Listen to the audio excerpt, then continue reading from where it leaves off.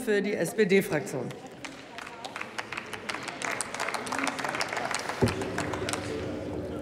Frau Präsidentin, meine Damen und Herren auf den Tribünen, liebe Kolleginnen und Kollegen, äh, ich komme zum Gesetzentwurf der FDP zurück. Liebe FDP, mit Ihrem Gesetzentwurf wollen Sie die Mini- und Midi-Jobs deutlich ausweiten, und Sie, Herr Kober, nennen das auch noch ähm, gerecht. Ich sage Ihnen, mit Gerechtigkeit hat das überhaupt nichts zu tun. Und ich sage Ihnen ganz klar, das ist mit der SPD nicht zu machen. Die Konjunktur boomt, die Arbeitslosenzahlen sinken. Warum, so frage ich Sie, wollen Sie gerade jetzt noch mehr Minijobs? Der Wirtschaft geht es blendend. Wäre es da nicht angebracht, endlich auch einmal an die Beschäftigten zu denken?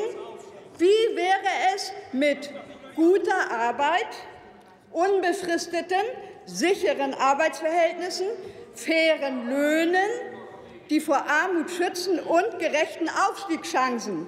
Eines ist sicher, mit Minijobs und äh, einer Ausweitung des Niedriglohnsektors, den Sie ja wollen, erreichen Sie das nicht. Minijobs führen glasklar in die Sackgasse. Sie sind eben kein Sprungbrett in eine reguläre sozial abgesicherte Beschäftigung. Das ist durch zahlreiche Studien belegt. Frau Kollegin, Aber, erlauben Sie eine Zwischenfrage oder Bemerkung von Herrn nein. Gruber? Aber, liebe Kolleginnen und Kollegen der FDP, das wollen Sie ja auch gar nicht. Sie fühlen sich ausschließlich den Unternehmen verpflichtet. Das dokumentieren Sie ganz klar auch mal wieder mit Ihrem heutigen Gesetzentwurf. Die Arbeitgeber sind es, die von den kleinen, schlecht bezahlten Arbeitsverhältnissen profitieren, denn Minijobs bieten für Unternehmen ein hohes Maß an Flexibilität im Niedriglohnsektor. Besonders in kleinen und mittleren Betrieben haben Minijobs oft reguläre Beschäftigung schon verdrängt. Ganze Branchen leben inzwischen überwiegend von Minijobberinnen und Minijobbern. Im Dienstleistungssektor, vor allem auch in ländlichen Regionen, gibt es oft überhaupt keine ordentlichen Beschäftigungsalternativen mehr. Und darunter, meine Damen und Herren, leiden vor allem die Frauen, denn Minijobs sind nach wie vor eine Frauendomäne. Das, liebe Kolleginnen und Kollegen, ist eine schlechte Entwicklung, die müssen wir stoppen. Ich freue mich deshalb über jede Erhöhung des Mindestlohns, denn sie führt dazu, dass im Minijob immer weniger Stunden gearbeitet werden kann. Auf diese Weise werden die Minijobs für Arbeitgeber hoffentlich sehr bald so unattraktiv, dass sie endlich wieder gute, sozial abgesicherte Arbeitsplätze anbieten. Das, meine Damen und Herren, ist der richtige Weg.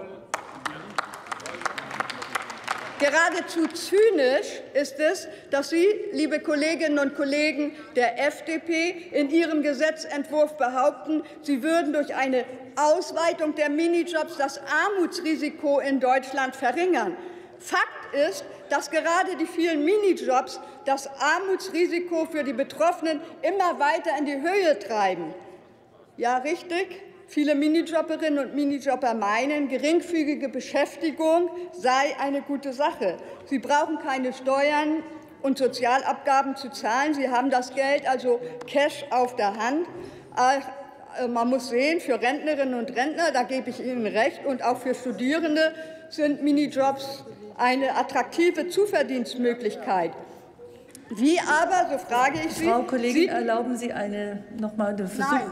Überhaupt nicht. Ja, gut, ich frage Sie. Wie aber sieht es mit den Millionen Menschen aus, die sich oft mit mehreren Minijobs durch ihr gesamtes Berufsleben hangeln? Keine Krankenversicherung, keine Absicherung bei Arbeitslosigkeit, jahrelang niedrige Löhne und in der Regel keine Chance, jemals wieder aus den Minijobs herauszukommen. Dazu kommt, keine Absicherung im Alter. Über 80 Prozent der geringfügig Beschäftigten lassen sich vom Arbeitnehmeranteil der Rentenversicherung befreien und erwerben dadurch überhaupt keine Rentenansprüche. Diese Menschen haben übrigens auch keinen Anspruch auf Erwerbsminderungsrente im Fall einer Berufsunfähigkeit.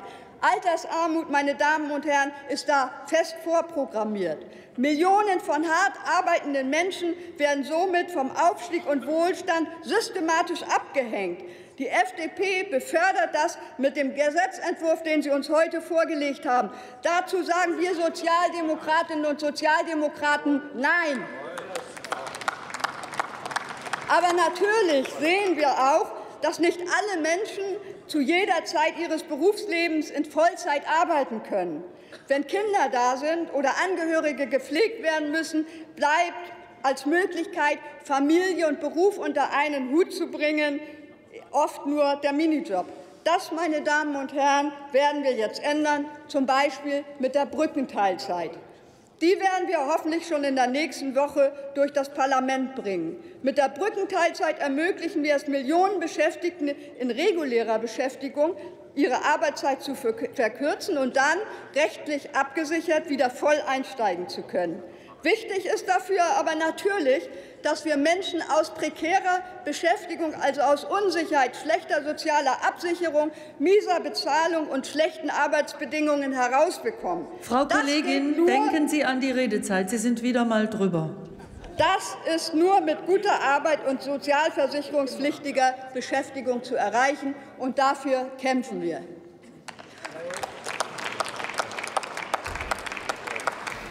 Vielen herzlichen Dank. Ich ziehe nämlich, wenn Sie überziehen, den anderen Kollegen ab. Dann müssen Sie es in Ihrer eigenen Familie austragen. So, nächste Rednerin Susanne Ferschel für die Fraktion Die Linke.